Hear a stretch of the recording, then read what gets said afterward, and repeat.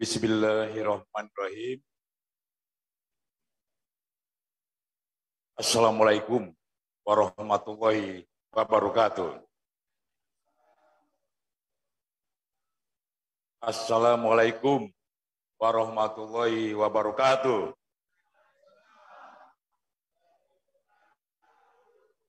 Selamat pagi dan salam sejahtera buat kita semuanya. Pertama sekali, pada kita panjatkan puji syukur atas kehadiran Allah Subhanahu wa taala. Karena berkat rahmat dan karunia-Nya berupa kesehatan serta izinnya kita dipertemukan pada pagi hari ini. Selanjutnya, selawat dan salam kita padiakan buat junjungan besar kita Nabi Muhammad SAW. Semoga kita mendapat semangat beliau di Yaumil Masar kelak. Amin. Yang saya hormati Bapak Gubernur tentunya, tapi diwakili oleh staf khusus ya. Terima kasih Kanda, Dindo sudah hadir nih, saudara kita nih. Pak Sarudin, Om. Kemudian yang saya hormati DPR di Provinsi Kepulauan Riau, ada Anda Ilyas Sabli, mantan Bupati Natuna juga, kemudian ada Hadi Chandra, mantan Ketua DPRD Kabupaten Natuna, yang saya hormati Sohib Pak Aris, Bupati Anambas. Selamat datang tentunya dengan semua rombongan tanpa terkecuali. Tidak kita sebutkan satu persatu. Yang saya hormati Pak Wakil Bupati, pasti disebut. Kemudian yang saya hormati Pak Ketua DPRD Kabupaten Natuna beserta anggota, tidak disebut satu persatu nih deh. Kemudian yang saya hormati Ketua DPRD Kabupaten Anambas atau yang mewakili ada Mardiani dulu anggota DPR sini ya. Kemudian yang saya mulia dan yang saya banggakan Pak Daeng Rusnadi. Ini kande nih.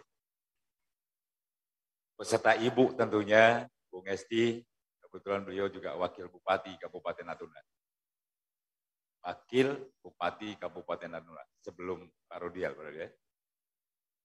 Kemudian yang mulia dan dimuliakan Allah, orang tua saya sesepuh yang tidak saya sebutkan satu persatu, yang jelas Ketua MUI, Ketua LAM, dan semua yang hadir pada malam pada pagi hari ini. Dan yang saya banggakan adalah seluruh panitia yang terlibat dalam acara Bubos ini.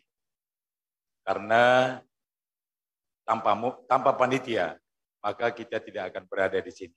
Oleh sebab itu tepuk tangan dulu buat panitia ini. Panitia ini luar biasa. Jadi panitia ini gabung dah. Bang Daeng. Saya nyokok pandek ya. Awal. Gabung ini. Ada dari Natuna dan ada dari Anambas. Tentunya Pak Aris, saya Bupati Natuna mengucapkan selamat datang kepada Pak Aris beserta rombongan. Biasanya susah kita nak mendatangkan dan menyatukan orang dalam sebuah tujuan. Jangankan bicara beda kabupaten. Satu kabupaten pun kita kadang-kadang berbeda pendapat dan berbeda pandangan. Jangankan satu kabupaten, satu rumah saja dengan anak, istri, dan keluarga, dengan keluarga, itu juga berbeda pandangan. Tapi ketika memang cita-cita sudah sama, tujuan juga sudah sama, keinginan juga sudah sama, dan pemikiran juga sama, maka kita hadirlah di gedung Serindit ini di kota Kabupaten Natuna. Susah ini, nyari kayak gini. Ecan eh? tapi karena memang ada tujuan dan keinginan bersama. Oleh sebab itu makanya saya selaku pemerintah Kabupaten Natuna menyambut baik apa yang sudah dicanangkan oleh panitia. Dan apa pun bentuk kegiatannya, kita selalu mendukung.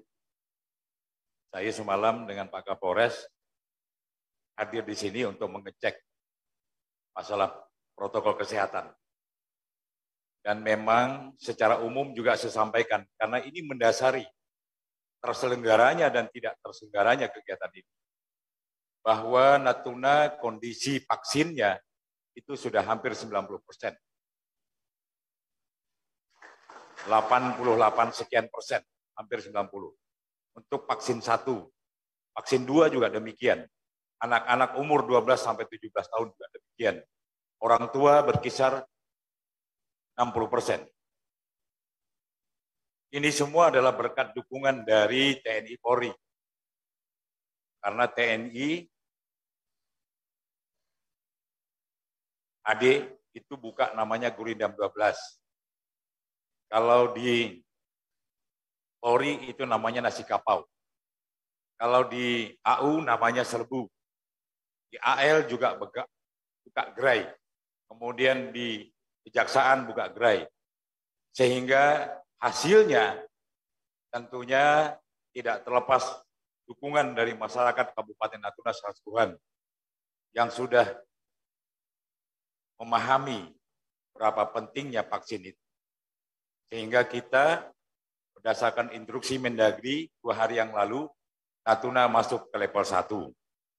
Dan oleh sebab itu makanya di dalam level 1 itu ada beberapa aturan yang harus dipenuhi untuk kegiatan masyarakat, termasuklah masalah mubos ini. Yang sudah ditentukan oleh Bapak Menteri Dalam Negeri melalui instruksinya sekitar 75 persen. Makanya sekarang semalam saya Pak Wakil Bupati, kemudian Pak Kapolres, tentunya tim gugus tugas, termasuk juga Dewan, ke sini, kursinya agak kurang jarang, saya bilang, dah kita jarangkan. Jadi gedung ini, ini jumlahnya maksimal ketika dipenuhkan Pak Daing, Bondek, itu sekitar 500. Tapi kita susun kursinya sesuai dengan prokes 250 orang. Artinya secara aturan instruksi Mendagri sudah kita penuhi. Dan tentunya prokes-prokes lain juga sudah kita penuhi. Agar apa? Agar jangan Ubes ini menjadi persoalan di kemudian hari. Dan saya bertanggung jawab untuk itu karena Bupati Natunanya. Kemudian saya juga menyampaikan bahwa Ubes ini segera dan akan saya buka, tapi saya berharap nanti Ubes ini berjalan sebagaimana mestinya. Karena kita orang Melayu, saya pakai baju Melayu, orang Melayu itu identitasnya salah satu baju. Nah, orang Melayu itu lebih suka kepada musyawarah mufakat. Mudah-mudahan musyawarah mufakat ini sudah dilakukan sebelum mubos ini. Sehingga mubos ini hanya sebagai formalitas untuk menentukan dan mengesahkan saja. Saya memang tidak mengikuti, mohon maaf, karena saya berada di posisi bupati. Jadi saya tidak mengikuti secara utuh, tapi saya mendengar ceritanya. Mudah-mudahan. Karena apa? Karena memang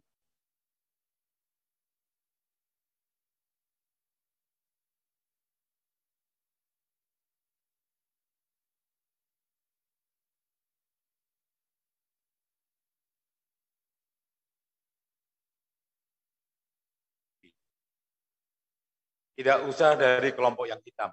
Karena kadang-kadang ikut warna lain ini kuning, ada Golkar pula. Kalau kita bilang merah nanti yang lain pula bilang biru. Ke putih hitam aja lah, ya kan deh, yang ya. Jadi nanti kalau dia dari kelompok putih, maka nanti yang akan merasa bahwa perjuangan ini adalah kelompok putih. Kalau dia nanti dari kelompok hitam, maka dia akan merasa bahwa perjuangan ini dari kelompok hitam. Kalau dia tidak gagal, kalau dia tidak berhasil, maka dianggap kelompok inilah yang menyebabkan tidak berhasil dan kelompok inilah yang menyebabkan tidak berhasil.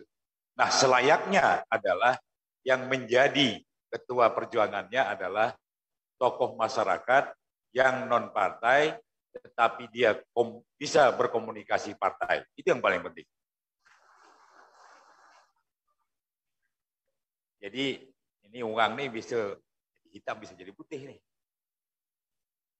Nah, kira-kira begitu. Namun demikian, namun demikian, saya ulangi lagi bahwa apa pun hasil musyawarah itu adalah sebuah kesepakatan yang harus dihargai.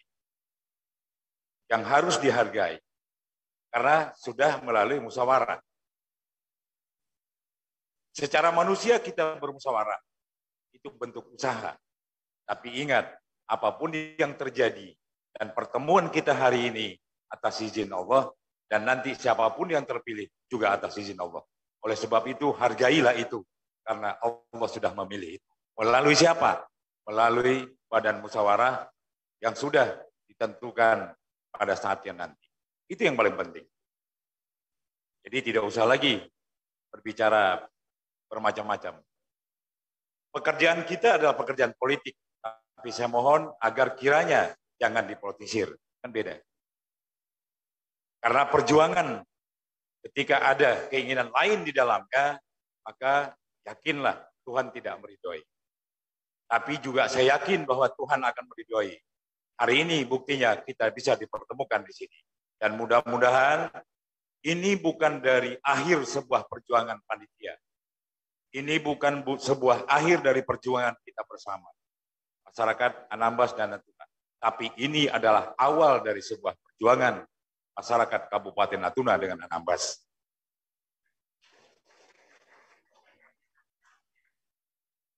Namun demikian perlu saya sampaikan, perlu saya sampaikan bahwa sebelum mubes ini, saya sudah ketemu dengan Pak Mendagri, Pak Menko Polhukam, Pak Mahfud MD. Saya sampaikan ke beliau, Pak izin Pak Mendagri, di Natuna dengan Anambas, ada dinamika politik yang harus saya cermati dan saya ikuti. Karena saya adalah bupati, maka saya mohon petunjuk dan arahan Pak Mendagri. Di sisi lain, saya juga dipilih oleh masyarakat Kabupaten Natuna. Sikap apa yang harus saya lakukan? Kata beliau, silakan untuk melakukan keinginan dan dinamika politik dan apa pun hasilnya silakan ditampung. Kemudian nanti disampaikan ke kementerian. Baik itu dari hasil mubas ini. Namun demikian beliau mengingatkan bahwa sekarang ini kondisinya masih moratorium. Kemudian yang kedua, kondisi fiskal, finansial yang berimplementasi, berimplementasi, berimbas kepada pendapatan negara, baik itu provinsi maupun Kabupaten Natuna. Dan terakhir adalah pemulihan ekonomi pasca COVID. Mudah-mudahan atas izin Allah, COVID kita di Natuna sudah berkurang dan bahkan tidak ada.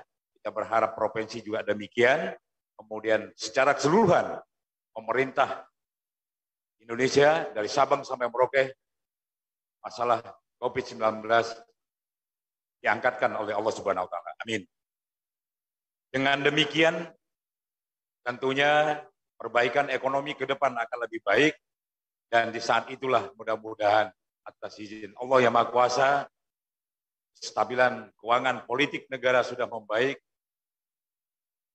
akan dibukalah moratorium itu. Mudah-mudahan insya Allah amin. Dan itu semua tidak bisa dilakukan oleh pemerintah. Dan itu tidak semua bisa dilakukan oleh kita Kabupaten Natuna. Tapi itu bisa dilakukan oleh Allah Subhanahu wa taala. Oleh sebab itu, usaha harus kita lakukan, doa juga harus kita kerjakan agar Tuhan meridhoinya.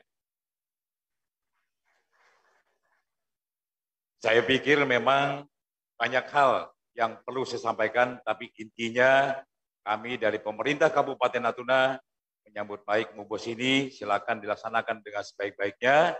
Mudah-mudahan apa pun hasilnya itu merupakan sebuah kesepakatan bersama yang sudah kita lakukan antara Anambas dan Natuna. Jadi tidak ada lagi persoalan, oh ini begini, oh ini begini, ini begini. Sudah, karena tahapannya sudah kita lewati. Dan itu sudah diizinkan oleh Allah Subhanahu wa taala. Buktinya kita hadir semua di sini. Selamat semuanya untuk uh, panitia dan mudah-mudahan ini berjalan dengan baik. Saya pikir demikian mungkin yang dapat sampaikan dan memang sebelum saya tutup juga kemarin saya ketemu dengan Pak Muldoko. Pak Muldoko saya tahu dan kita tahu bersama bahwa beliau adalah KSP. Kemarin juga saya sampaikan dengan beliau bahwa keinginan dan dinamika politik di Natuna Anambas. Beliau sampaikan bahasanya sama lebih kurang dengan apa yang disampaikan dengan Mendagri. Kemarin juga saya ketemu dengan Pak Erick Thohir, itu BUMN tuh, dari BUMN. Saya sampaikan Natuna butuh air, butuh listrik, dan kemarin ketemu juga dengan Pak Menhan, kemudian Bapak Menteri Agama, kemudian Wakil Menteri Keuangan. Alhamdulillah izin Allah saya dipertemukan dan hasilnya kepala PLN ada di sini. PLN Kabupaten Natuna akan ditambah 2 megawatt. Itu ada kepala PLN itu.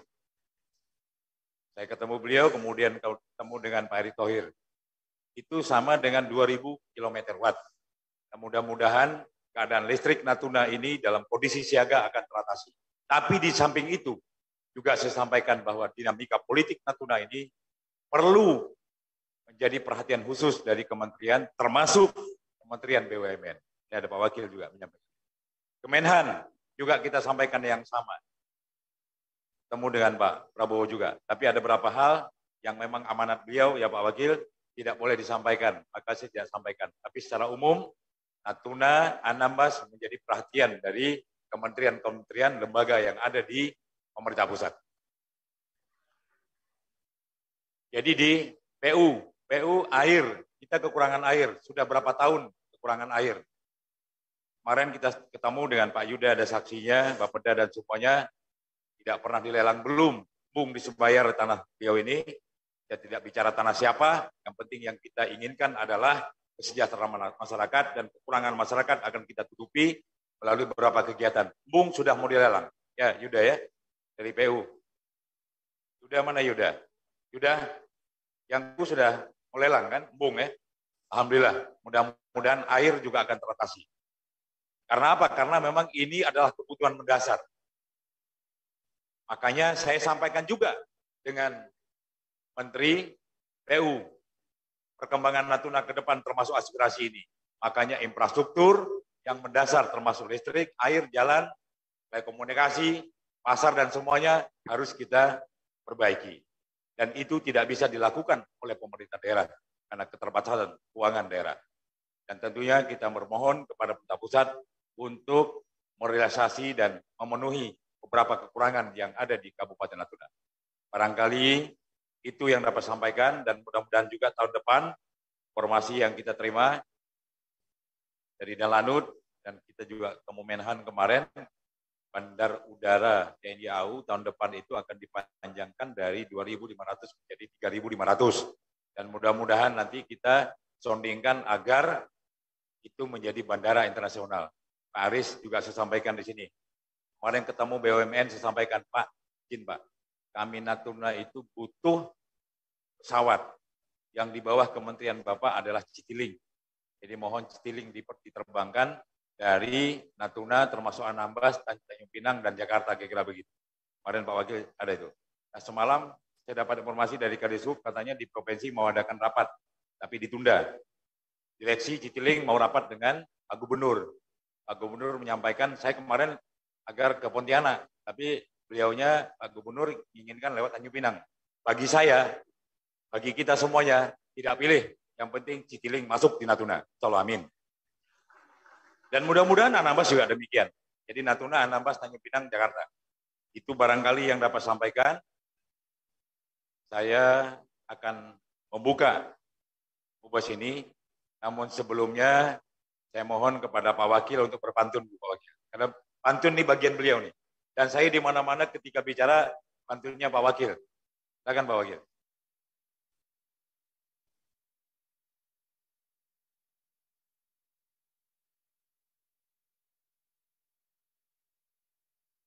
Banyak pantun nih Bang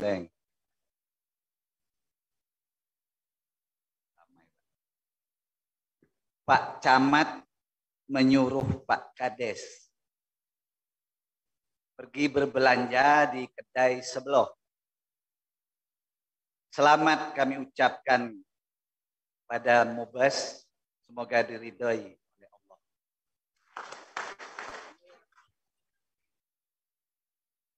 Pak Bupati.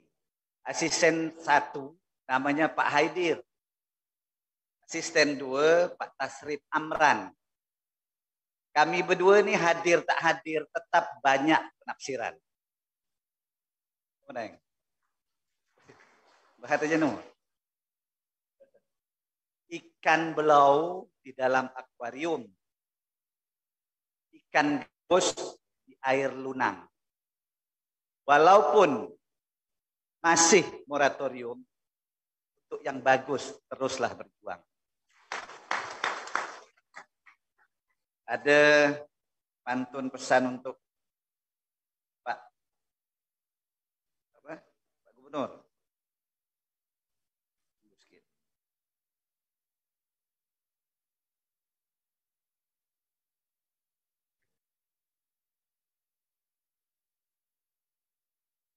Ini untuk pemerintah pusat, Pak, supaya tak salah penafsiran. Di Laut Jakarta berserak jermal. Tiap perahu harus melewatinya. Walau perhatian pusat belum maksimal, nasionalisme kami di perbatasan tetap terjaga. Terus ini untuk panitia. Kita semua, pahlawan negeri berbudi halus. Negeri dijaga para laksmana. Pemekaran kita ini berniat tulus pagari NKRI bagian utara. Om untuk pemerintah provinsi induk. Hutan jati di laman istana. Jati berbunga, patah dan layu.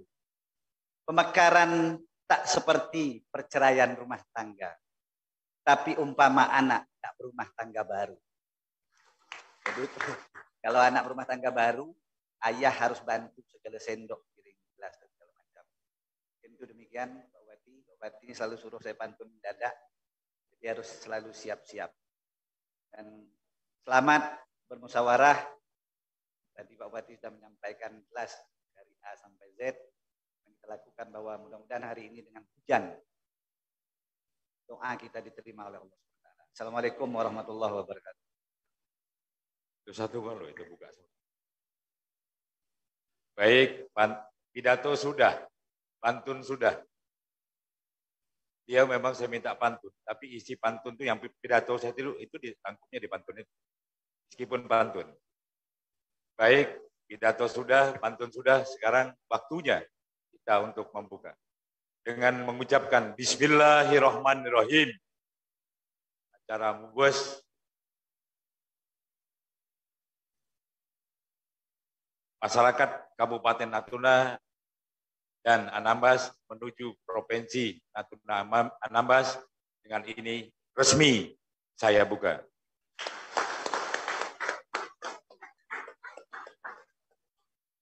Terlebih terkurang, mohon maaf, sebelum saya tutup, saya ingatkan sekali lagi bahwa dalam perjuangan ini yang paling penting adalah ikuti aturan dan mekanisme perundang-undangan yang berlaku. Dan perjuangan pasti ada beberapa hal tantangan. Tapi tantangan adalah tidak akan mungkin ada di tengah perjuangan. Oleh sebab itu, bersabar, berdoa, dan berjuanglah. Demikian, Assalamualaikum warahmatullahi wabarakatuh.